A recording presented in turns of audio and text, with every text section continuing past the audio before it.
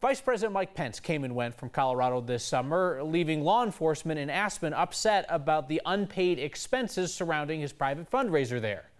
And then a baseball executive stepped in to pinch hit. Our Marshall Zellinger dug into open records to find the story.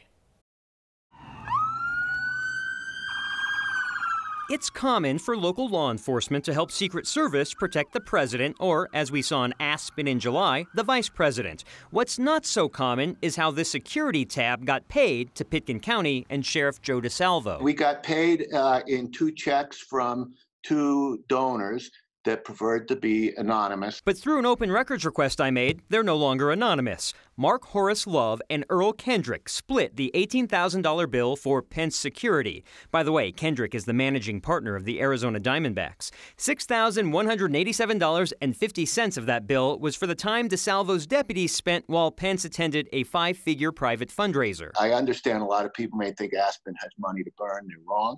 Uh, so $18,000 to my constituents I think is a lot of money, and I think they deserve uh, to be reimbursed. There's no requirement that anyone reimburse local law enforcement, but it would generally come from the party's host or the candidate's campaign. But since it was paid directly to Pitkin County, there's no paper trail, like the one that exists that shows Kendrick contributing to Senator Cory Gardner's reelection campaign, or his contribution to former Congressman Mike Coffman's campaign last year.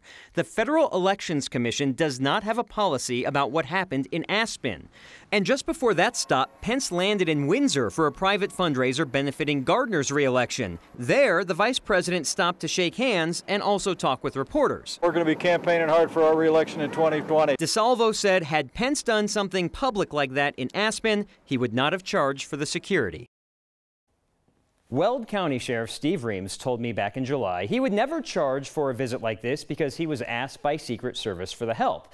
The question, though, is about transparency. Forget what political party you support, because clearly there will be a slant, whether it's from Weld County or from Pitkin County. The idea is are we getting what we expect from our taxpayer money and should it be going to certain things? That's what it comes down to. And if I can't find that, if I have to do an open records request, you certainly can't find it at home or don't know that you should file an open records request. There should be a paper trail anybody can track down. This business about like somebody did the sheriff or any any elected official a solid by cutting them a fact check, but we don't get to know who it is. It's a big secret.